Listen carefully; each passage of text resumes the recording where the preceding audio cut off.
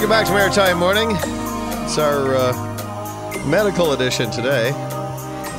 Just uh, finished up with Dr. John Gillis here, and uh, we're bringing in another doctor, uh, Dr. Stan Kutcher, who's uh, heads up the uh, psychiatry unit here in Halifax and has done a considerable amount of work in teen mental health and a variety of different areas. Um, and we thought it would be good to have him come in and talk uh, about uh, something that's called the DSM 5. Uh, probably not something unless you uh, are a, a practitioner, I suppose, or somebody who, you know who has a, a deep and abiding knowledge of the uh, mental health system would find, um, you know, on your bookshelf. Uh, the the DSM five is the Diagnostic and Statistical Manual of Mental Disorders, and this is a guidebook that is used by doctors around the globe. But this, what they do is they they, it, they redefine from time to time uh, conditions and syndromes and whatnot, and uh, and that's an important process because what it does is it informs how. Uh, I guess some of these things are diagnosed and, and also how they are uh, acted upon, and, and to some degree, I suppose, how they're per- perceived by the general public. So, uh, Stan Kutcher joins us this morning uh, to talk about this. Welcome to the studio, Stan. Great to have Thank you. you. here. Nice to be here. Um, t- I, I guess I've characterized this. Maybe maybe you can fill in the blanks there in terms of what this diagnostic and statistical manual of mental disorders is all about. Sure. I think probably the first thing to do is to understand that in all of medicine, there is something called a diagnostic manual, which Mm-hmm. is used by doctors globally, all over the world. The, the, the, the granddaddy of them is called the International Classification of Diseases, the ICD, which has components in it dealing with heart disease, lung disease, immune diseases, and mental disorders. It, pr- it provides a commonality for physicians around the world so that they understand what they're talking about. I suppose is it? That exactly. about? That's what it's for. And and and it undergoes revisions periodically as new science comes in, as new information comes in. So we don't we don't think about heart disease and diagnose heart disease the same way today that we did 100 years ago because we've learned a lot. And al- along that pathway, we've had some good successes and we've had some missteps, and, and, and that's how it happens. The same thing for mental disorders. Although mental disorders are part of ICD, a number of years ago, a couple of decades ago, because mental disorders were really neglected, there was a movement, mostly from the United States, but a globalized movement to create a diagnostic manual for mental disorders specifically. So that's what the DSM is. And it has the same strengths and weaknesses of any diagnostic system. And it goes periodically, it undergoes revisions, hopefully to improve it. And sometimes that turns out to be the right direction, and sometimes it turns out to be the wrong direction. Well, presumably, with and I guess you know, in all areas of mental or I mean medical research, I mean there's been great advancements, but, uh, but perhaps even more so in you know the diagnosis of mental illnesses because of the huge advances we've seen in brain research in the last while, and and how that relates to, I mean, the work that you're doing, for example. If we were to take I guess our perceptions of mental illnesses five years ago, they've probably you know been turned on their head in the last five years. Uh, You know, even as I say in the work that's been done uh, within your unit. Well, you know, I think you're right. Uh, we have learned a heck of a lot in the last decade, in the last 15 years. Um, but as somebody who knows a little bit of what we've learned, I am incredibly humbled by how much more we have yet to learn. And, and, and I realize that a lot of what we think we know, we will change as new information comes in. The, the technologies that we have had available for us to study the brain and its functions are very new technologies. And so we're really on the path to, to, to, to, learning a lot more. And, and this manual is part of that path of learning.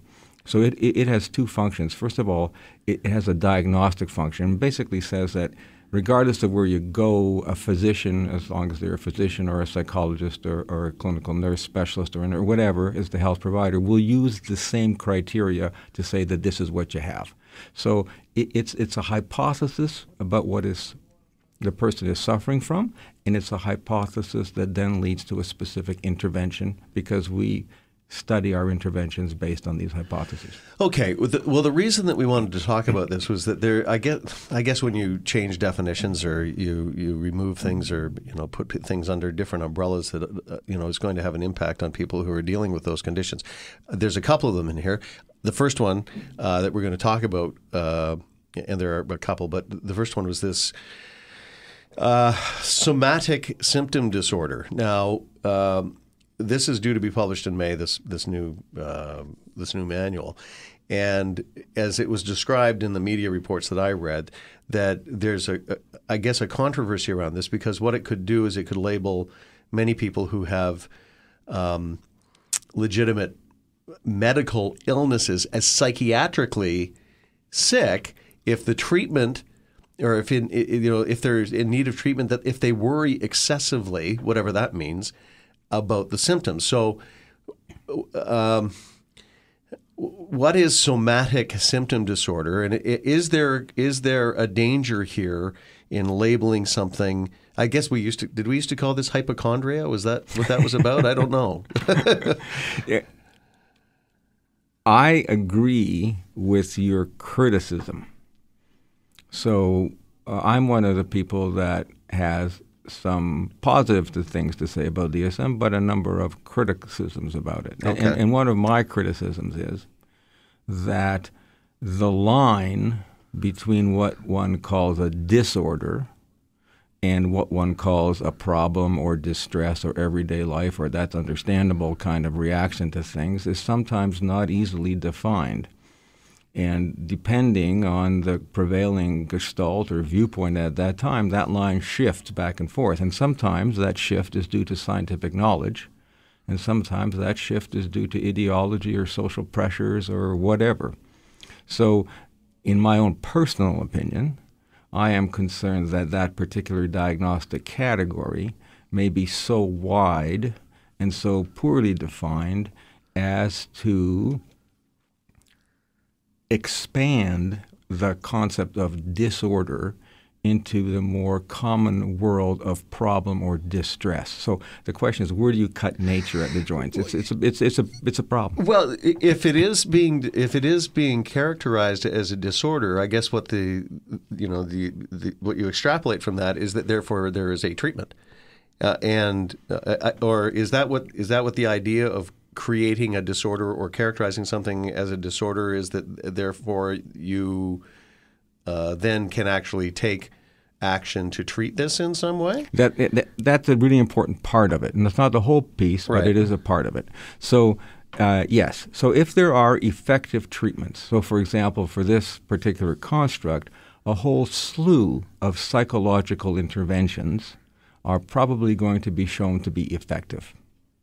So ways of intervening to help people with these kind of symptoms from the mental health perspective.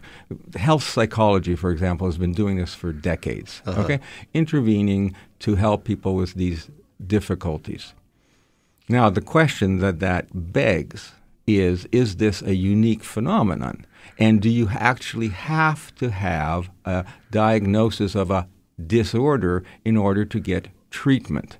And that's where things get a little fuzzy. Mm-hmm. And that's where social factors and economic factors enter the picture and make it more problematic. So, for example, if an insurance company will pay for a health provider, psychologist, nurse, doctor, doesn't matter, for treatment for a disorder, but will not pay for treatment for a problem or distress, then sometimes people say, oh, well, in that case, let's call it a disorder. I'm not saying that's what happened in DSM, but you can see where the, where the line gets a little bit slippery here.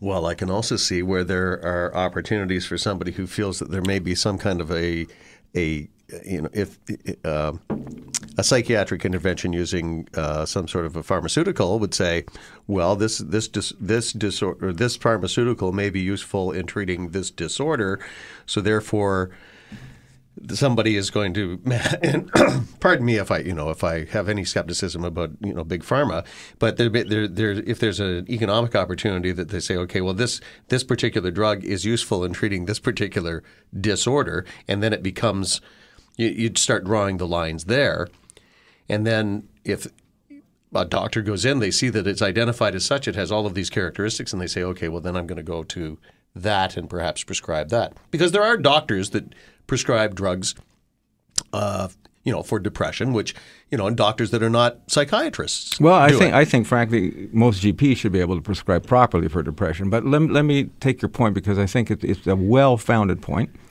And I think people understand that point when when you frame it in the way that you just did in terms of the pharmacologic treatment mm-hmm. because people have a, their antenna up and say, why Yeah. are you giving me a medicine for something that might be just a health, real life problem? Like you don't treat because I'm demoralized after I lost my job. You don't give me an antidepressant. You give me a job for crying out loud. Okay, that's that's what we want to do. So, Well, so well, yeah, yeah. okay. But I just also want to point out is that there is a pharma industry, but there is a huge psychotherapy industry. It's Right. probably bigger than the pharma industry, and it has no controls on it. So there is no place that you can go if you're going to see someone who's a psychotherapist, you, and they put their shingle out, if there are a professional like a psychologist or a social worker, they can be regulated under the Professions Act.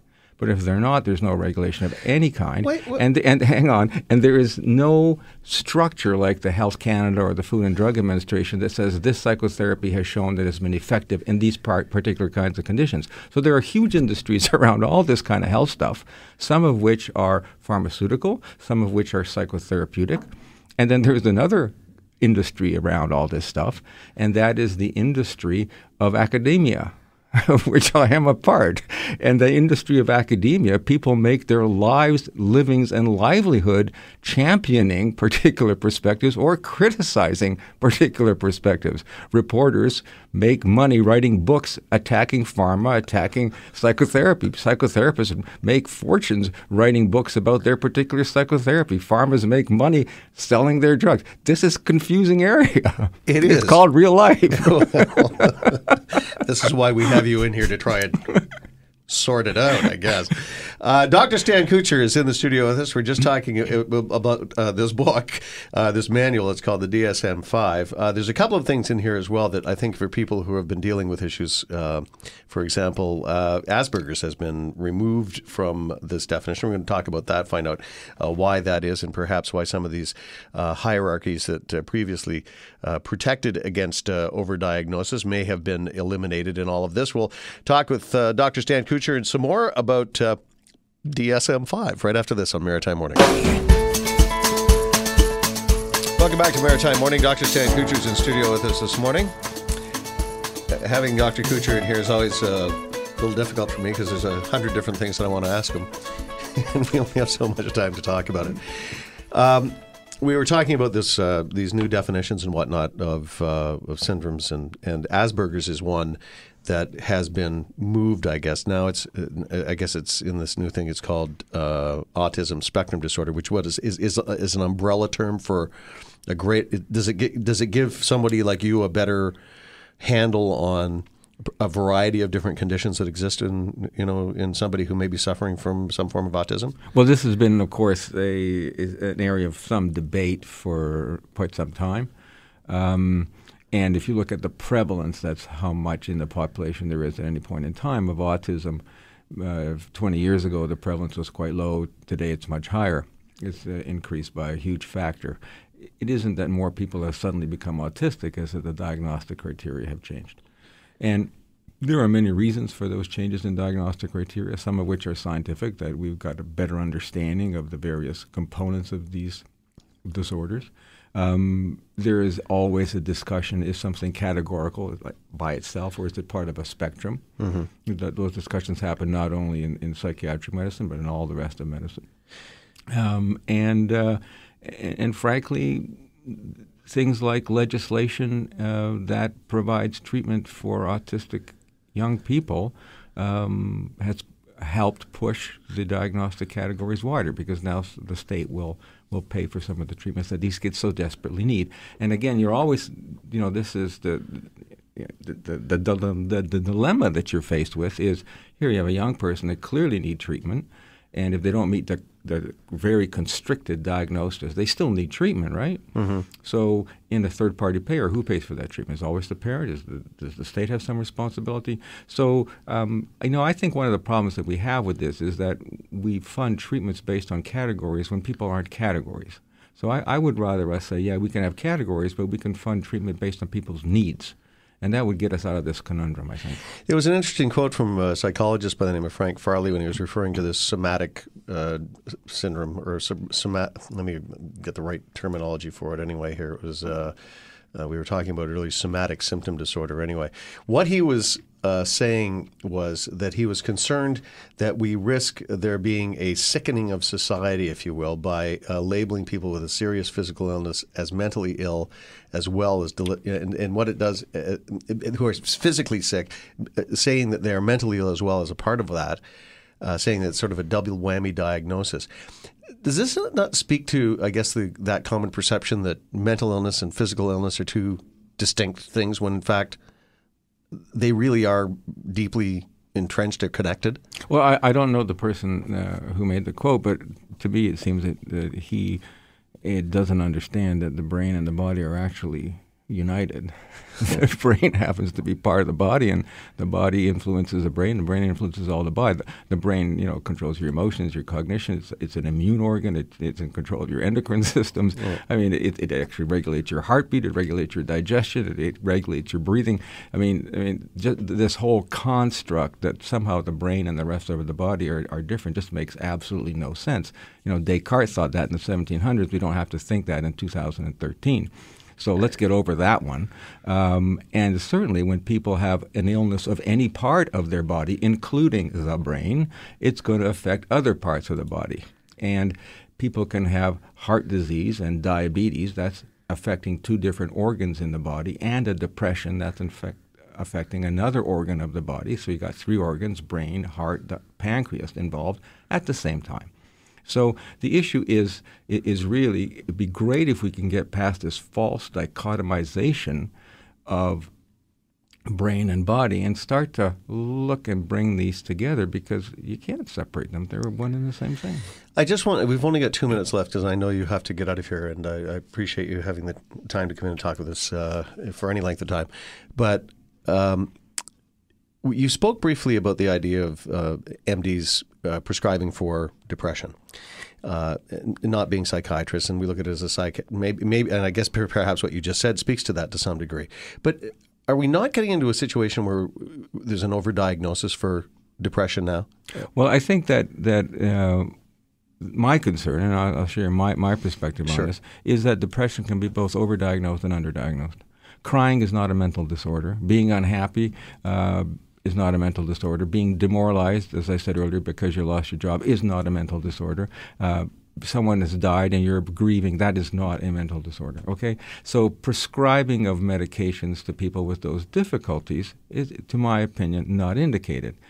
But there are people who have clear depressions and who, if they need a medication, because there are other treatments for depression, so the, the role of the physician is to make the proper diagnosis, albeit that sometimes is difficult, but that's part of the, that's why we pay the physicians what we pay them, because mm-hmm. it's the most difficult part.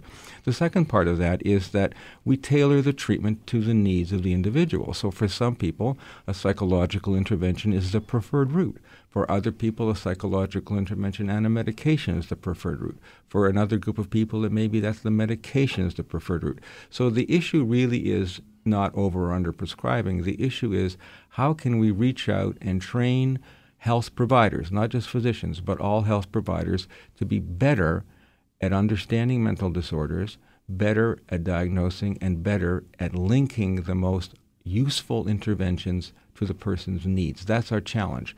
And part of that big part of that challenge is that many of the health providers who are currently in practice in their training never received that kind of intervention, never received that kind of education. So one of the big challenges that we have is to how do we reach out to health providers, give them that kind of information in a way that makes sense to them, in a way that they can use for the benefit of the people that they're seeing. Stan, thanks for coming in. It's always uh, great to have you here, and uh, it's great to get your insight on, on some of these issues. Thanks again. Pleasure. Thank you. Okay, that is uh, Dr. Stan Kutcher joining us this morning, uh, talking about